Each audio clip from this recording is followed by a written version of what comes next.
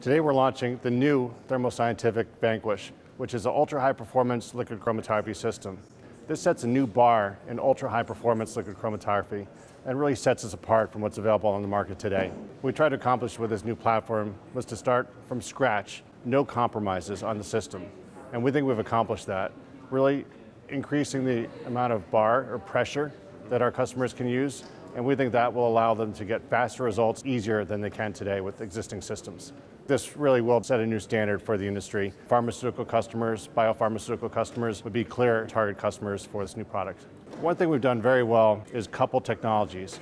So we have some tremendous capabilities with our lab automation business, and we've actually put a robot for sample introduction on the front end of Vanquish for those customers that want that capability. As far as software, this continues to be supported by our gold standard chromatography data system, which is called Chromeleon. In our release 7.2, we can actually control LC and mass spec.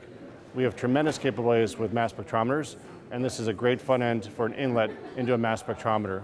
So great robotic capabilities with Charger, ultra high performance liquid chromatography with Vanquish, and then the mass specs we're known for with Orbitrap technology, really the complete workflow for our customers.